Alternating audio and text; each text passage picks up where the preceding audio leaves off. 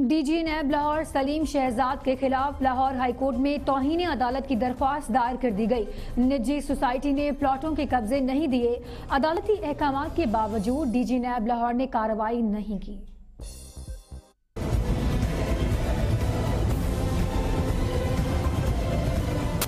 افراد نے D G NAB Lahore Saleem Shahzad کو فریق بناتے ہوئے درخواست میں کہا کہ لاہور کی نجی سوسائٹی میں پلاٹ خریدے تاہم ابھی تک قبضہ نہیں ملا۔ اس پر عدالت نے اکتیس نومبر دو ہزار انیس کو نیب کو احکامات جاری کیے تھے، جن پر ڈی جی نیب لاہور نے ایک ماہ اور تین دن گزرنے کے باوجود عمل درآمد نہیں کیا۔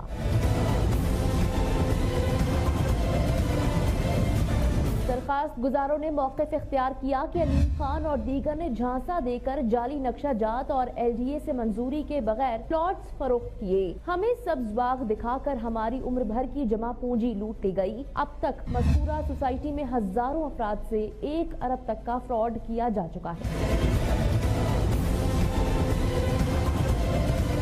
افراد نے کہا کہ پلاٹوں کی تمام قسطیں جمع کروا چکے ہیں۔ نیب کو تمام ریکارڈ بھی فراہم کر دیا ہے۔ لیکن نیب لاہور کی جانب سے انکوائری کو التباہ میں ڈال دیا گیا ہے، جو سمجھ سے بالا تر ہے۔ عدالتی احکامات پر عمل درآمد نہ کرنے پر ڈی جی نیب کے خلاف توہین عدالت کی کارروائی کی جائے۔